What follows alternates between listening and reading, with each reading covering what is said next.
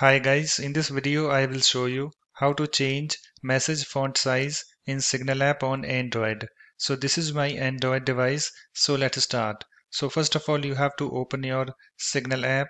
So here is my Signal app. Let me tap on this to open it. You can see guys it's opened and after that you have to tap on this three vertical dots at the top right and then tap on this settings and then tap on this appearance on this settings screen. And I have this appearance uh, this screen opened.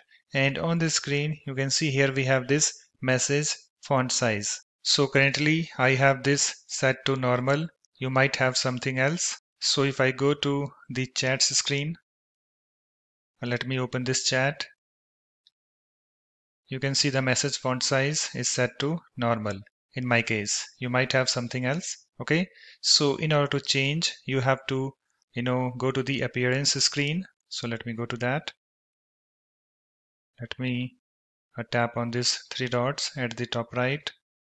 Tap on this settings. And then tap on this appearance. Okay.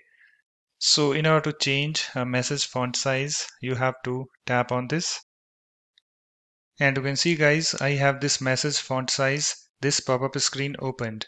And you can see here we have four options small normal large and extra large. So currently I have this set to normal. So in order to change you have to go to the option that you want and then tap on it to select it. So I want this third option that is large. So let me tap on this to select it.